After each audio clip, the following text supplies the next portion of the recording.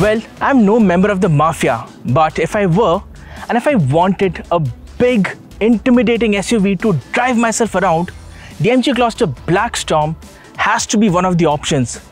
It was always a big, burly SUV, and now, in this full black color theme, it looks downright deadly. To begin with, the entire SUV now dons a sinister shade of black. The grille up front, along with cladding on the profile and the roof rails, everything non-black is now black. Even the Gloster lettering at the rear is now done in black. The one color that goes best with black is red and that's the play here as well. So you see these nice red accents on the front and the rear bumper plus on the rear view mirror as well.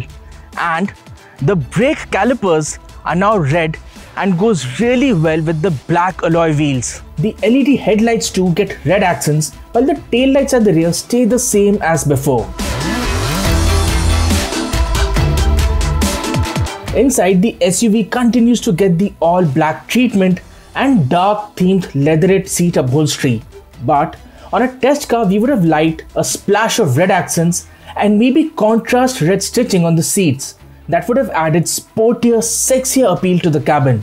The dashboard stays the same as before, along with the 12.28 inch HD touchscreen infotainment system that gets Apple CarPlay and Android Auto. Other features also include a dual panoramic sunroof, power adjustable driver seat, ventilated seats, 3 zone climate control, air purifier, tire pressure monitoring system, and 64 color ambient lighting.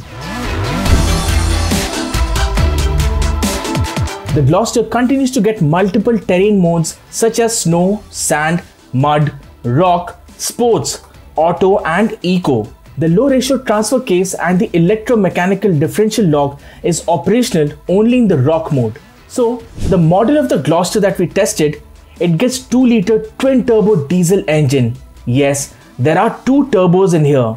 The motor makes about 215.5 brake horsepower and a massive 478.5 Newton meters of peak torque. There is an 8-speed automatic transmission which is standard.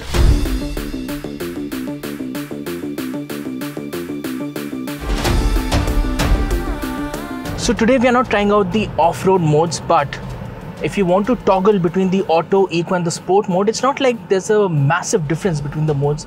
Uh, there is a slight alteration in the driving characteristics of the car but it's not like the suspension will firm up or the steering will stiffen up if you choose the sport mode.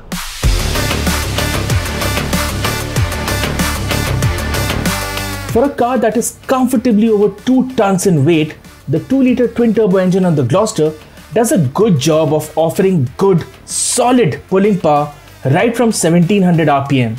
The SUV builds up speed nicely and the ratios on the 8-speed automatic gearbox are very well spaced out which means the car is in power band all throughout. There is a hint of turbo lag, but it doesn't affect your driving experience. Overall, the Gloster offers a very refined driving experience. There is hardly any engine noise seeping into the cabin. The Gloster has a plush ride quality and the suspension is tuned well for Indian roads. But the occupants in the third row might find the ride to be a little bouncy and the SUV takes a bit of time to settle down after going over undulations at speed.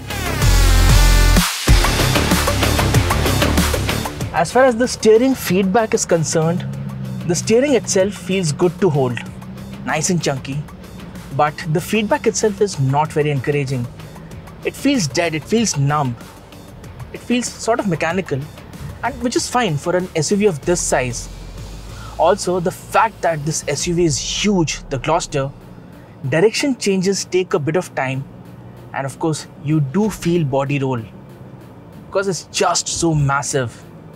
And if we were to talk about braking the brakes are really good. The bite is quite nice and the progression is quite decent.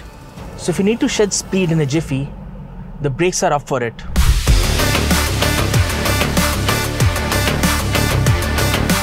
In terms of seating, our test model had bench seats in the middle, which means it can seat 7 people in total. The middle row seats are plush and keep the occupants in comfort, with decent headroom and knee room. Like the regular models, the Gloster Black Storm is loaded with active and passive safety features. These also include a bunch of level 1 ADAS features. These include automatic parking assist, forward collision warning, lane departure warning, blind zone detection, rear cross traffic alert, driver fatigue reminder system, and others.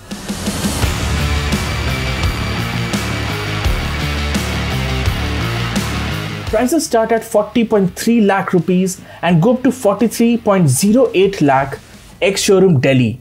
The SUV is available in a two-wheel drive trim as well. Features stay the same but the off-road capability is reduced unless you're one of the brave souls to go off-roading with a 50 lakh rupees SUV. The Gloster has a lot to offer. It is really big, solidly built and offers a decent list of features and creature comfort.